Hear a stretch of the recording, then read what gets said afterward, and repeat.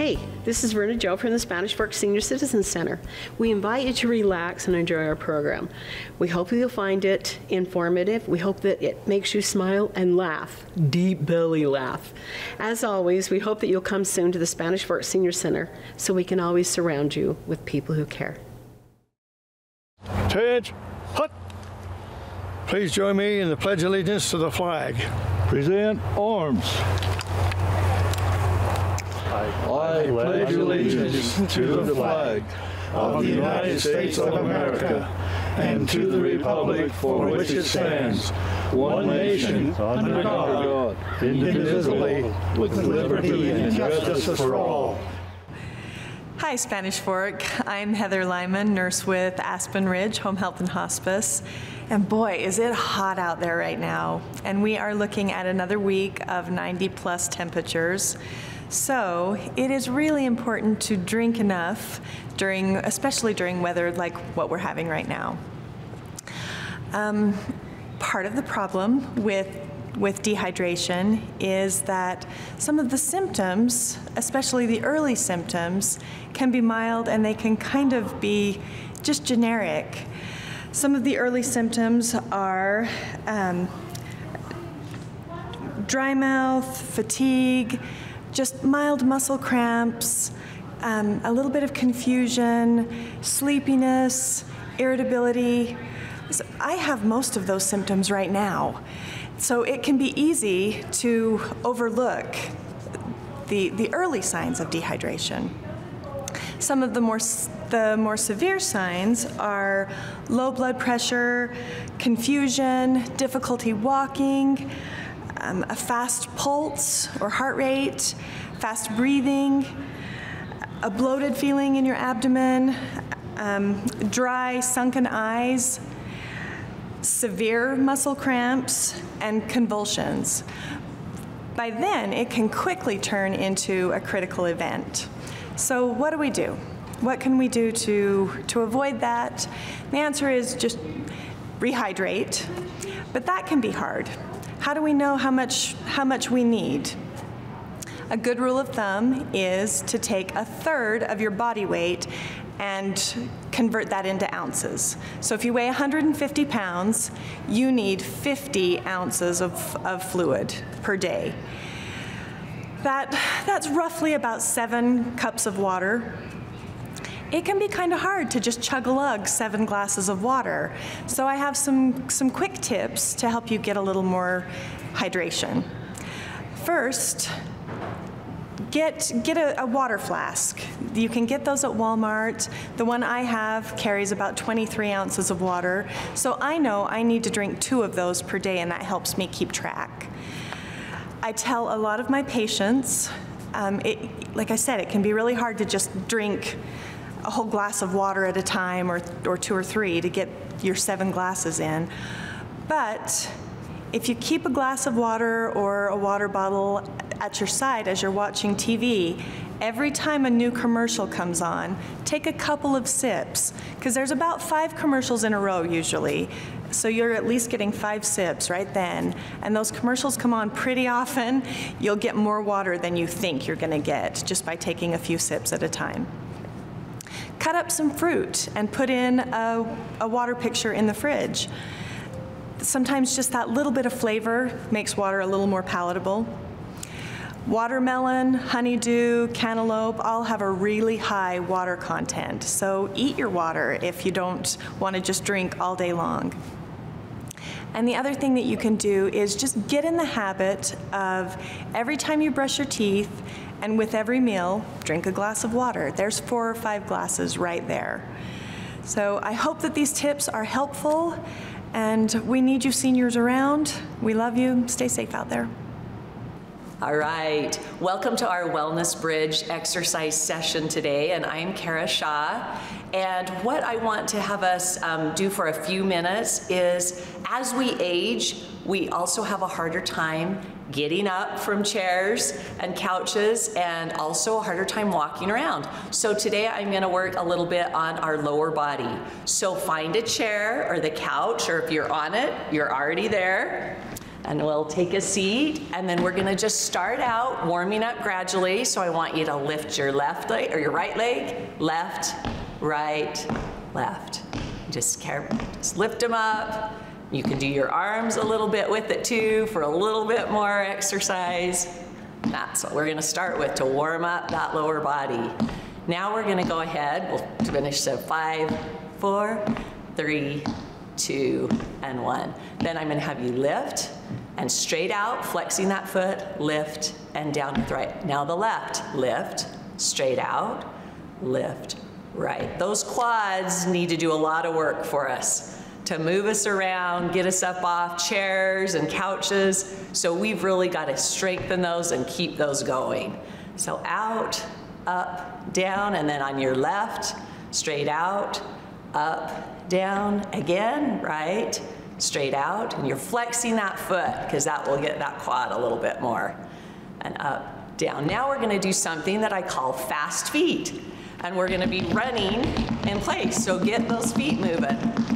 An important thing too, sit straight up, good posture, hold in those abs. Now we're gonna put our hands out front, and what you're gonna do is you're gonna jump. And keep running, you gotta keep running, this will get you cardio a little bit too, and jump. There you go. Keep running, jump. Good. Keep those feet moving fast, and jump. Good. All right. Now what I'm gonna do is we do squats and things, and this is really how we're getting out of chairs. So what I want you to do is not use your hands if you can. If you need to use your hands, then use them to stand up. I want your feet about shoulder width apart, and then we're just gonna sit down in your chair or the couch and stand up. Your weight should be in your back heels with this, and then stand up. And if you need a little bit of support, then push off a little bit. But try to do it without, because that's gonna really strengthen those quads. We need that strength to keep us moving, keep us getting up and out of chairs and the couch. So let's just do that. Another five. Good. Four. Keep it up. You're doing great. Three two, good, and one, good. And if you want a little bit more difficult, then you can go here and don't sit down. And up, and you're just squatting low, keeping the weight in the heels, and up, and down, up, and down. Great.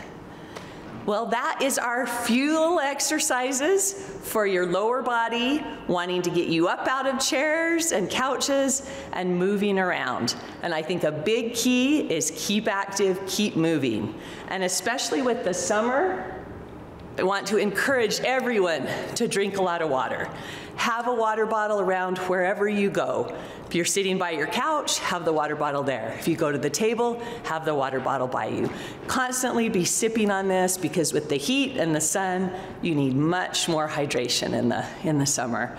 So this is Kara Shaw with our Wellness Bridge group, and we um, encourage you to stay active and stay hydrated. Hey, it's time for Beverly! Jokes, jokes, jokes, jokes, jokes, jokes, jokes. Oh, good. Well, then laugh today. okay, I'm going to read one of my husband's favorite jokes because we have, he and I had 13 children. So this is one of the jokes that he thought was great. He just loved it. A woman walks into the Savannah downtown welfare office trailed by 15 kids. Wow, the social worker exclaims, Are they all yours? Yep. They are all mine, the flustered mama sighs, having heard that question a thousand times before. She says, Sit down, Billy. All the children rush to find seats. Well, says the social worker, then you must be here to sign up. I'll need all your children's names. Well, to keep it simple, the boys are all named Billy, B I L L Y. And the girls are named Billy, B I L L I E. In dis- disbelief, the caseworker says, Are you serious? They're all named Billy. Their mama replied, Well, yes, it makes it easier. When it's time to get them out of bed and ready for school, I yell, Billie. And when it's time for dinner, I just yell, Billie. And they all come running. And if I need to stop the kid who's running into the street, I just yell, Billy, and all of them stop. It's the smartest idea I ever had, naming them all Billy. The social worker thinks this over for a bit, then wrinkles her forehead and asks, But what if you just want one kid to come and not the whole bunch? Well, then I call them by their last name. Ooh, he loved that one. okay. you didn't think that was that funny, but my husband loved it. Oh, I can understand that, yeah. I, I thought it was pretty smart myself. Yeah. okay. A farmer in the country has a watermelon patch, and upon inspection, he discovers that some of the local kids have been helping themselves to a feast. The farmer thinks of ways to discourage the profit eating situation. So he puts up a sign that reads Warning, one of these watermelons contains cyanide. He smiled smugly as he watched the kids run off the next night without eating any of his melons.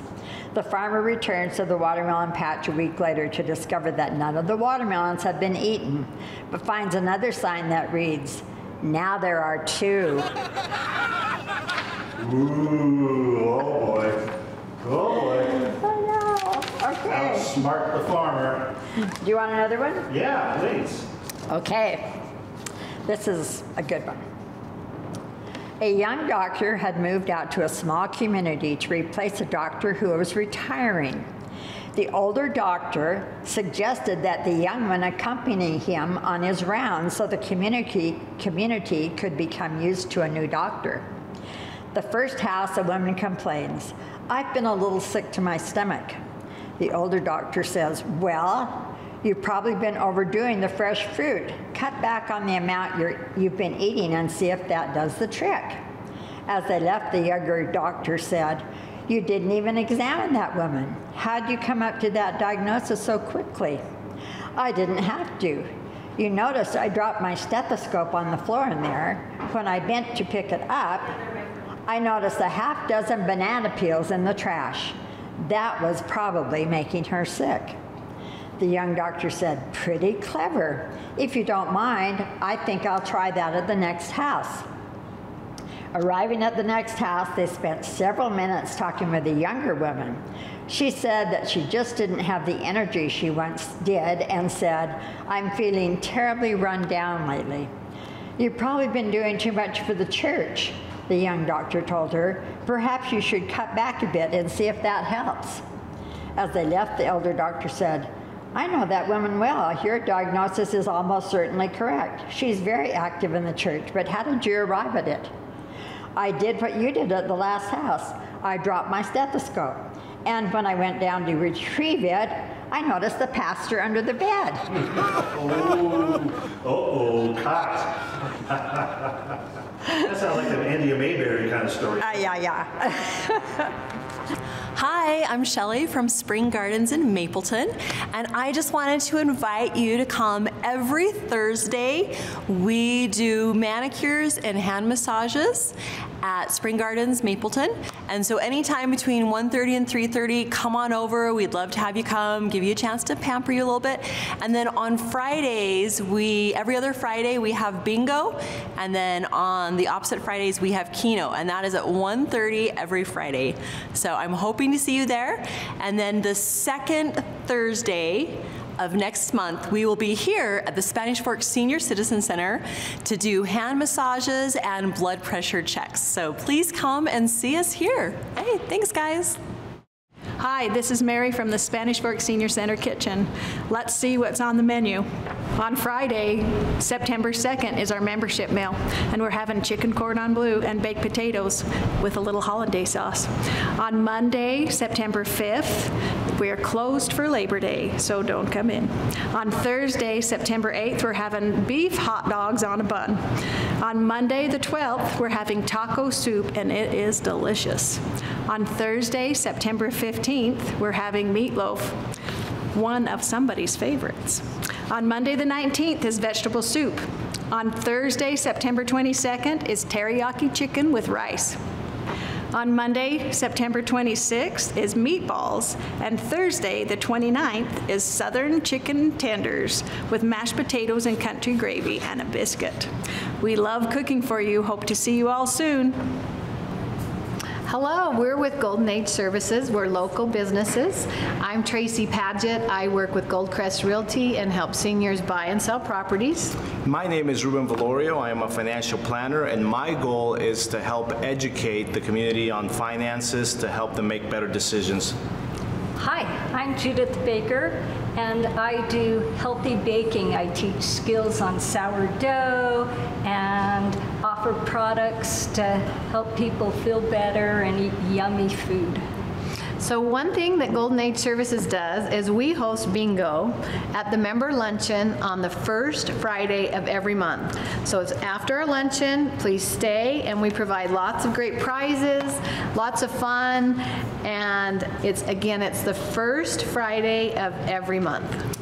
And right after bingo, you can expect us to stick around and help anybody that has questions about how to use their phone or any other technology to come in, ask questions, and we can help you resolve some of those and teach you a couple of things that might be helpful when you're using your technology. And we're a fun group. You'll love to come and just socialize. Yes, it's time for more jokes, jokes, jokes. Go Beverly! Yeah! Okay. If Noah had lived in the United States today, the story may have gone something like this. The Lord spoke to Noah and said, In one year I'm going to make it rain and cover the whole earth with water until all flesh is destroyed. But I want you to save the righteous people and two of every kind of living thing on earth. Therefore, I am commanding you to build an ark. In a flash of lightning, God delivered the specifications for an ark. In fear and trembling, Noah took the plans and agreed to build the ark. Remember, said the Lord, you must complete the ark and bring everyone on board in one year. Exactly one year later, fierce storm clouds covered the earth, and all the seas of the earth went into a tumult. The Lord saw that Noah was sitting in his front yard weeping. Noah, he shouted, where is the ark? Lord, please forgive me, cried Noah. I did my best, but there were big problems. First, I had to get a permit for construction, and your plans did not your did your plans did not meet the building codes. I had to hire an engineering firm and redraw the plans. Then I got into a fight with OSHA over whether or not the, or the ark needed a sprinkler system and approved flotation devices. Then my neighbor objected, claiming I was violating zoning ordinances by building the ark in my front yard. So I had to get a variance from the City Planning Commission. Then I had problems getting enough wood for the ark because there was a ban on cutting trees to protect the spotted owl. I finally convinced the U.S. Forest Service that I really needed the wood to save the owls. However, the Fish and Wildlife Service wouldn't let me take the two owls. The carpenters formed a union and went on strike. I had to negotiate a settlement with the National Labor Relations Board before anyone would pick up a saw or hammer. Now I have 16 carpenters on the ark, but still no owls. When I started rounding up other animals, an animal rights group sued me. They objected to me taking only two of each kind on board. The suit is pending. Meanwhile, the EPA notified me that I could not complete the ark without filling an environmental impact statement on your proposed flood. They didn't take very kindly to the idea that they had no juris jurisdiction over the conduct of the creator of the universe. Then the Army Corps of Engineers demanded a map of the proposed floodplain. I sent them a globe. Right now, I'm trying to resolve a complaint filed with the Equal Employment Opportunity Commission that I am practicing discrimination by not taking atheists aboard. The IRS has seized my assets, claiming that I'm building the ark in preparation to flee the country to avoid paying taxes. I just got a notice from the state that I owe them some kind of user tax and failed to register the ark as a recreational watercraft. And finally, the ACLU got the courts to issue an injunction against further construction of the ark, ark, saying that since God is flooding the earth, it's a religious event and therefore unconstitutional. I really don't think I can finish the ark for another five or six years. Noah waited. The sky began to clear, the sun began to shine, and the seas began to calm. A rainbow arched across the sky. Noah looked up hopefully. You mean you're not going to destroy the earth, Lord? No, he said sadly. I don't have to. The government already has. Oh, yeah, boy, isn't that the truth? Well, we probably should do that one. Okay. Let's do one more. I have some blonde jokes. We can forget Oh, that one. some blonde jokes, yeah. I have some blonde There's jokes. room for blonde jokes. Yeah, well, I have a bunch of those. Okay, let's see. Blonde jokes. A man was in front in his front yard mowing the grass when his beautiful blonde female neighbor came out of the house and went straight to the mailbox. She opened it, looked inside, slammed it shut, and stormed back into her house. A little later, she came out of her house again, went to the mailbox, again opened it, and slammed it shut again, angrily going back into the house. As the man was getting ready to edge the lawn, here she came again. She marched to the mailbox, opened it, and then slammed it closed harder than ever. Puzzled by her action, the man asked her, Is something wrong? To which she replied, There certainly is. My crazy computer keeps telling me I've got mail. A typical blonde. Oh, yeah. Okay, um, there was a blonde that lived in, a, lived in a small house at the corner of Fourth Avenue. She had a small shed in her backyard where she kept gardening tools. One day she thought she saw smoke coming out of the roof of the shed. In a panic, she called 911. They answered and said, This is Joe. Is there an emergency? The blonde replied, Yes, my shed is on fire. Joe said, Don't panic. Help is on the way. Where do you live? The blonde said, In a house. Now hurry. Joe calmly responded back, How are we supposed to get there? The blonde answered back, Duh, a big red truck. Yeah, that's easy to understand. Of course. Okay. One more, one more. Um, a blonde and a brunette, sisters, just inherited a ranch. They thought that the ranch looked a little empty, so they went to buy a bull together. They had only $500 to spend. The brunette um, found an ad in the paper that, that had a healthy bull for sa- sale for $500. So the brunette went to look at him. The brunette decided to buy him. She had to send a telegram to her sister telling her to, to come with a trailer to get the bull. The telegram cost a dollar per word. The brunette sent the word comfortable, comfortable. The telegram guy asked- asked, Why comfortable? Because my sister's a blonde and she will read it slow and she will think it says, Come for the bull. Is that bad? Thank you, Beverly. Hi, Verdi Joe, Spanish Fork Senior Citizen Center. I just wanted to let you know some things that we're going to be doing in September. We've got the September Happy Birthday Party on Thursday, the 8th at noon. We have National Grandparent Day on Monday, the 12th, and we've got some ideas of things for you to do with your grandchildren. And we've also got a fall foliage trip that's going on Friday, the 23rd, up to Sundance Lift. And then we're going to ride up to the top and have lunch at the Bear Lodge up there. So in October, we have Rask Guitars from Orem is coming to do a presentation on guitars. Uh, that will be on Wednesday, the 5th, from 6 to 7. Please sign up for that. We're also doing an Enchanted Charmer celebration Wednesday, the 12th at noon. There is a sign up sheet on that. Please come. Dress up like little witches. Let's come and have fun. Then we've also got our Halloween party. That will be on Monday, the 30th at 10 o'clock to noon. That's also a sign up, but we've got lots of fun things we're doing then. Please dress up, have fun. Please come and join us at the Senior Center. You can see I'm wearing some Lederhosen